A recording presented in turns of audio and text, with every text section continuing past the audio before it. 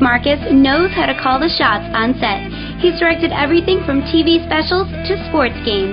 Today, he's shooting a national commercial. On set, um, what is your job? Uh, to direct the whole commercial, decide the action, decide the camera shots, work with George on the uh, on the lighting, get his get his uh, get his um, yeah get his input on that. Directors see a project through from start to finish. The shooting is really the easiest part. It's all the uh, pre-production. Okay. Meetings with the advertising agency, going over the storyboard.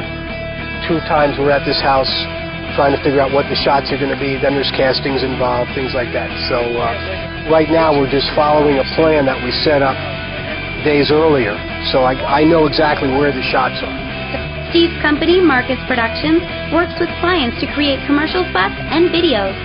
As far as the client's actually here today, right? The ad agency. Yeah. So how much do they have input in what a lot. direction no, you no, go? Every job is different. They have a lot of input. They created the storyboard. They created the script.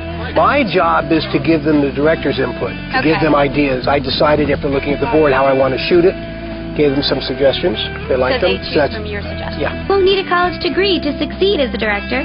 Steve says experience is your way in. If you want to get in the business I'm in and you can get a job at an ad agency or a TV station or a private production company and get in and make contacts. I worked for two years for nothing as an intern. My parents thought I was crazy. When I started in this business, um, I was working in TV since I was 16 years old, working at a TV station, then a production company. Many aspiring directors take courses in TV production. Steve suggests studying psychology. You're going to work with all kinds of people in this business. Some people with big egos and, and no self-esteem, and you got to know how to handle everybody. You got to know how to handle people on a set. Keep it light, tell some jokes, keep, every, keep everybody happy, and feed the crew good. Food. After a full day on set, Steve still has lots to do.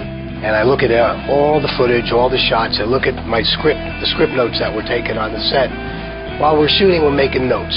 Good take, bad take. And I capture all the footage. We probably had an hour's worth of footage for this 60 second spot to do a um, director's cut. And we'll start doing the graphics and um, music and things like that. Get ready to pay your dues if you want to make a name for yourself in this competitive field. Started doing commercials for $800, $1,200, to $3,000, $10,000. We've done commercials for over $200,000. Our freelance directors, on, on a bigger scale, they could make ten to $15,000 a day. Steve says the pay can be very rewarding, but it's his love for the production business that keeps him coming back for more. Yeah, I haven't worked a day in my life for the last 30 years. I love what I do. You know, sometimes you'll work an 18-hour day. Sometimes you'll go a week and you don't even shoot anything. It's a strange business. If you think you've got what it takes to make it on set, then reach for the success of directors like Steven Spielberg. He's won Academy Awards for Schindler's List and Saving Private Ryan. After all the hard work is done, let's check out the finished product. Roll it, Dan.